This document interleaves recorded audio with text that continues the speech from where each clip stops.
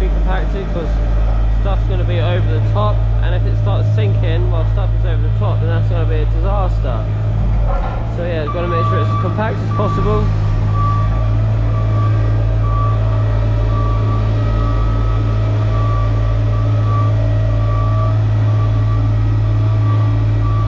Wasn't easy getting over, I'll tell you that much. It's all slippery, obviously. It's a roller, ain't got no grip. Had to use a digger for help. Yeah, got her in the end.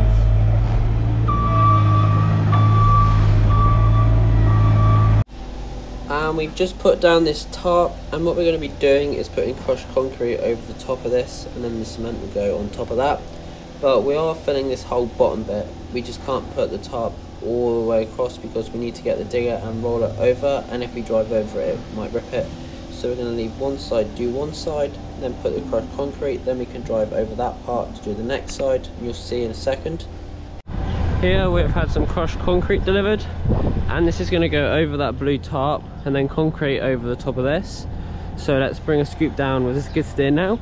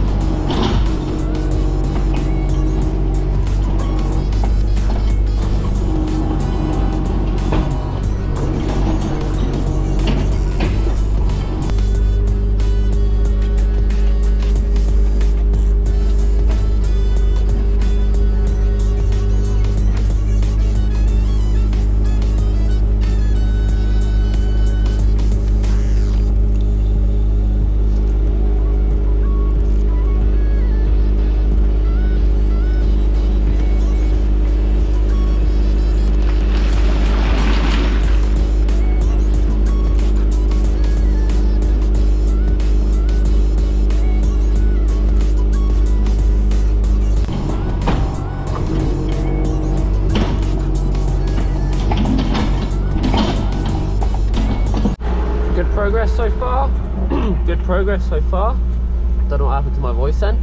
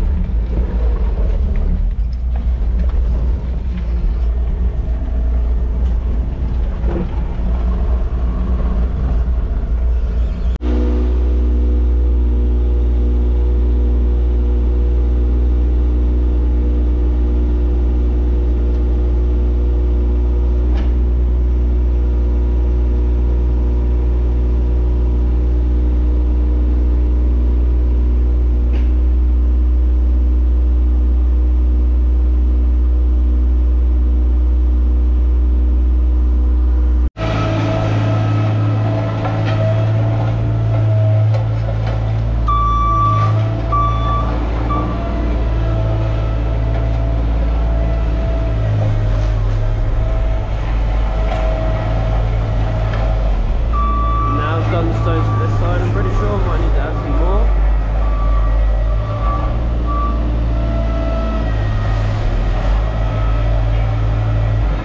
This thing does a good job rolling down these, as you can see, especially with the vibrations. Yeah, it doesn't look like there's much here, but a lot of that part is actually gone.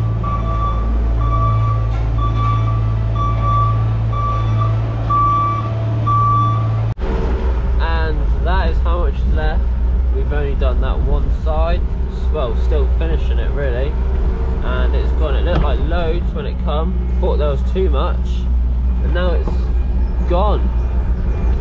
Eating it right up.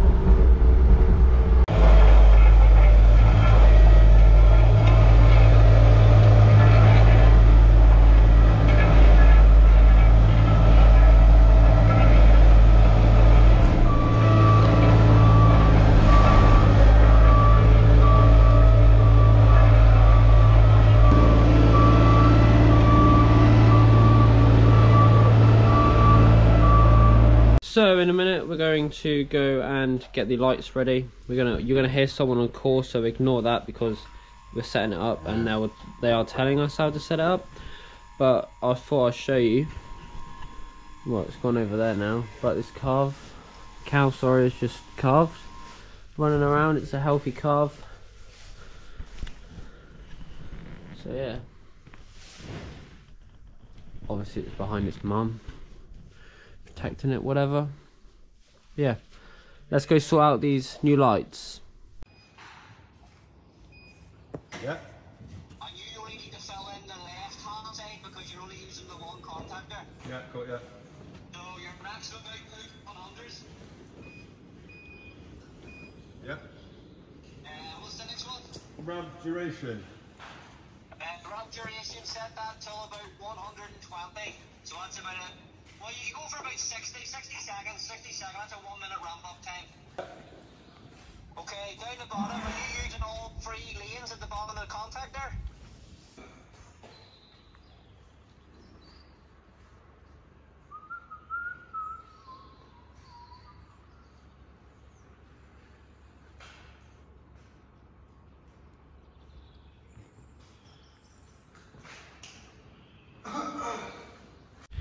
And now they are completely finished it looks way better in here. As you can see it looks much better in person it's actually really nice. I think this is 100% brightness. It's taken up a lot of the lens actually. These are very bright they hurt your eyes when you look at them. Yeah the cows will love it. Is this electric box here? It's a very fancy one and on this box as you can see there there is a light sensor. So it's also going to be able to adjust itself to how dark or light the shed is. It's not going to stay there. It's advised that it goes somewhere in the middle hanging so you can tell but just so everything works it's put there for now. And here are everything about the lights and if you understand that then have a read of that. But yeah Here's the Belgian blue bull sleeping. Don't want to wake it up. You can hear me, its ears are moving. But yeah, I'll try and film them in the dark, but the video is going up tonight in about an hour or so. So we'll see how that one goes. Uh, depends if it gets dark fast enough. It's only five o'clock now though. But yeah, definitely much better and just to show you over here markings here this one there we've just roughly marked out where the clean rooms are going to be for the robots. We are currently waiting on them before the robots can come. They are coming at around they're not getting delivered right here they're coming mid february so a couple weeks not long at all but the clean rooms are going to be here end of march so that's what we're waiting for. Hopefully sooner but who knows? Not too long now though. So them markings here to here that'll be one. So that's just a rough idea. There'll be another one there. See them markings? Yeah that's just planning at the moment. Obviously them holes are blocked up now. So let's see if you can see through here. The level has come up quite a bit. Still fair amount of space to go. I think it might just be over halfway full, not too sure. Can't really tell anymore. But we'll be tanking, taking some out in a few days, so I'll definitely get that filmed. Everywhere else is dark, apart from in here. Looks amazing. and this is the latest I can film since the video needs to go up. But if you're in here and you couldn't see the time or couldn't see outside the shed, you'd have no idea what the time of day was because it just seems like day.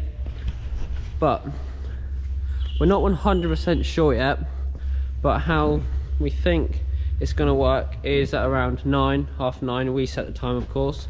The lights are going to dim for night time, so the cows will still have some light, but it's not going to be too bright for them to be able to sleep. And then around half 5 to 6 in the morning, they'll come full brightness again ready for us when we come outside and do what we need to do.